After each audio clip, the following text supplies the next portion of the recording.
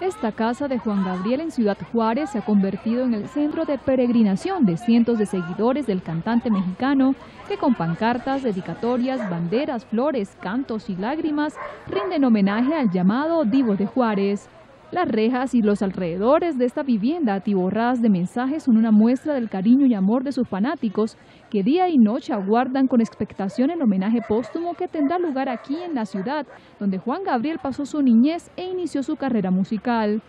También los exteriores de este estacionamiento Noa Noa son un lugar de devoción por el artista, Aquí estuvo hasta 2007 un bar de ambiente y fue allí en 1966 donde Juan Gabriel comenzó su carrera artística.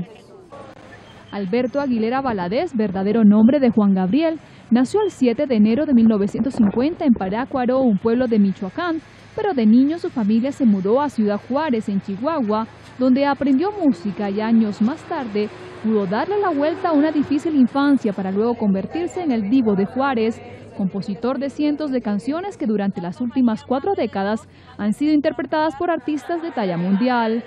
Ahora sus letras y su música resonarán por siempre en los corazones de sus más fieles seguidores en un amor eterno e inolvidable.